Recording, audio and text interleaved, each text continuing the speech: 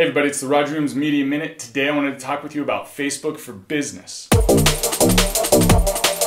So we've gone over some different social media stuff. Facebook's come up here and there, and I wanted to save it for a whole episode for itself because there's a lot going on to it. Facebook is the largest social network.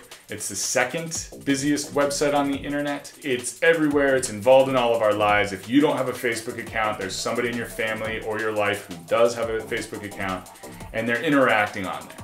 It allows people to post pictures, videos, type texts, share links to other websites. Basically, everything you do on a blog, but you're doing it on Facebook because they make it really easy to do. It Makes it very easy for you to connect with your other friends, see what your other friends are doing, and it's also got another feature where businesses can set up what is called a page and then people can like that page. In essence, they start following that page, and whenever you post updates, it shows up in their Facebook timeline. They can like it, they can comment on it, they can share it to other people, uh, they can click on a link, go to your website, go to your Facebook page. Tons of different things to do. As a business, I highly recommend that everybody create a Facebook account. I know in the past I have said that I don't think Facebook is for everybody. Facebook, just have it. There's billions of people. It's it's at a billion at this point, I'm pretty sure, of people on Facebook. It's where you need to be, and it's free to set up the account, get all your business information on there, get your phone number, get your address, get some pictures up there, get what you do, and start updating this thing. If not, you know, weekly, at least once a month, just post something, let them know that you're still open and alive. Uh, ask questions, use it for interaction. Uh, you can use it for support. I'll give you an example. We recently bought a pop-up trailer from a Jayco used trailer. We didn't have the manual for it. I went to the Jayco website. They didn't have manuals there. I went onto Facebook and I searched for Jayco and their business page came up. I sent them a message and within 12 hours had a reply back saying, hey, no problem, shoot an email to this email address and we'll get you that PDF for the manual. Now, I'm sure I could have gone through their website. The problem was their contact form wasn't super easy to use. I was on my phone, and Facebook has created there mobile app, so it's really easy to use their on a phone. And I was just able to do that much quicker. So that gives you an idea of how Facebook can help your business. It also points out that, hey, your business website, as we've talked about before, needs to make sure you're taking mobile into consideration when you're building this thing.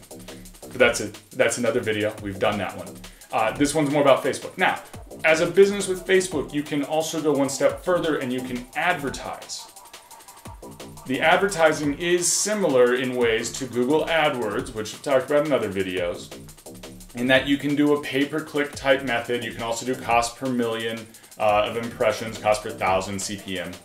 And basically, instead of choosing keywords though, you're choosing demographics because when you sign up for a Facebook account, they get you to fill out all this information. You don't have to fill it all out. I don't necessarily recommend you do, but hey, your privacy is your own thing.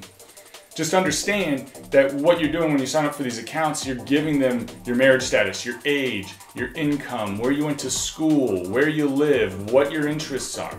All of these things are gathered up by Facebook and in the advertiser section, you can go through as a business and choose all of these things. So you can choose a zip code, age group, profession, or interest. You can even choose companies and it will show you, it will target those ads to that demographic of people. Your, your ads can be images, they can be videos, they can be links, they can be text. It seems like images are the most successful ones at this point. But uh, you know, I've, I've done videos, those have had a lot of interaction. And basically you're working to build how many people are liking your page and all of these uh, interaction on Facebook. At the end of the day, you're trying to get more eyeballs onto your business hopefully buying your product. So that's really Facebook in a nutshell. There's a ton more to it.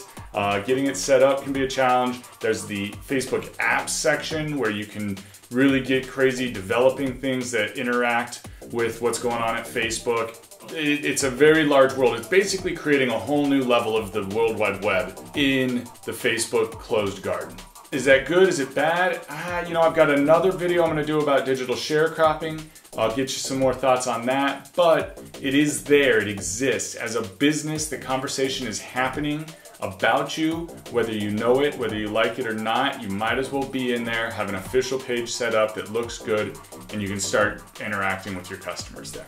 That's what I've got today. The email's right there. Comments are down below. Let me know what you think. Uh, either way, rock on.